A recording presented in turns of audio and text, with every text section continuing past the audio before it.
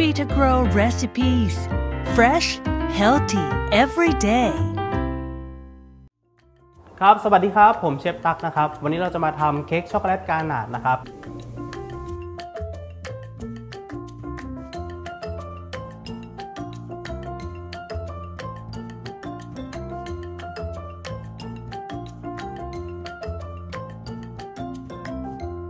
เค้กนี้นะเป็นเค้กชิฟฟ่อนนะครับ เราจะ แยกไข่ขาวไข่แดงนะครับ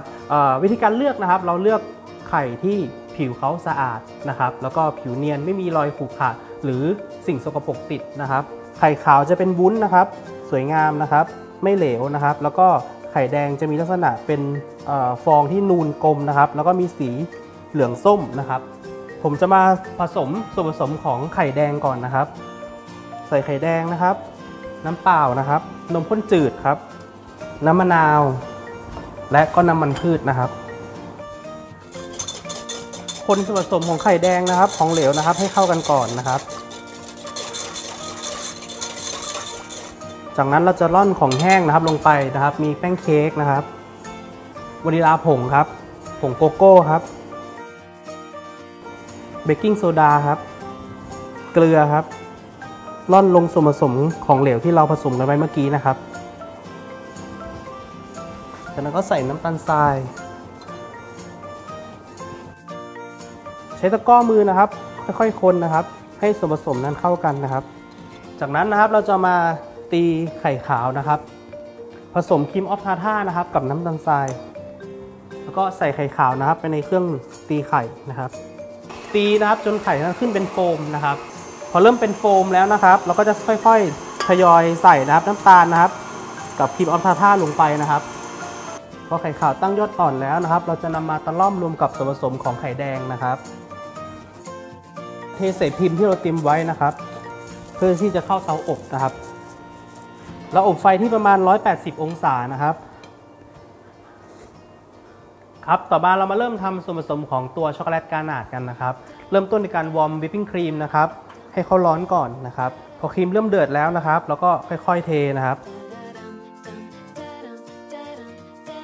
คนนะครับให้ช็อกโกแลตละลาย ใส่เนยสดนะครับลงไป คนต่อนะครับ จนเนยละลายเข้ากันดีนะครับ จากนั้นนะครับเราก็จะใส่เหล้าลำลงไปนะครับ พอเข้ากันแล้วนะครับ เราจะนำส่วนผสมของช็อกโกแลตกานาดนี้นะครับไปแช่ตู้เย็นให้เซ็ตตัวก่อนนะครับครับหลังจากที่เราอบเค้กสุกแล้วนะครับ เราก็นำออกจากเตาอบนะครับ มาพักไว้บนตะแกรงให้เค้กเย็นนะครับพอเค้กเย็นแล้วนะครับ เราก็จะนำเค้กออกจากพิมพ์นะครับ สไลด์เค้กนะครับเป็น 2 ส่วนนะครับ จากนั้นนะครับเราใช้น้ำเชื่อมนะครับ โดยการต้มน้ำกับน้ำตาลนะครับพรมให้ทั่วเค้กนะครับ แล้วเราก็ใช้ช็อกโกแลต ganache นะครับ ที่เราเอ่อพักให้เขาเซตตัวแล้วนะครับ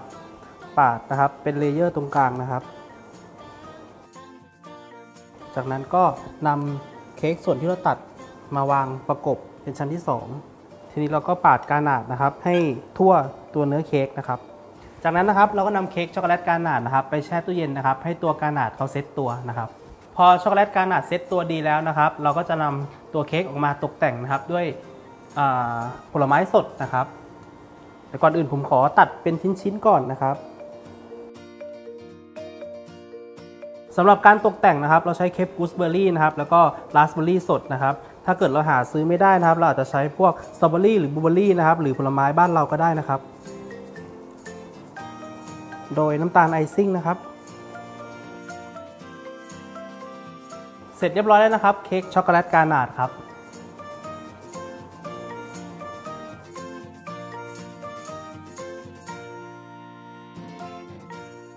Bitter Grow. Quality for life.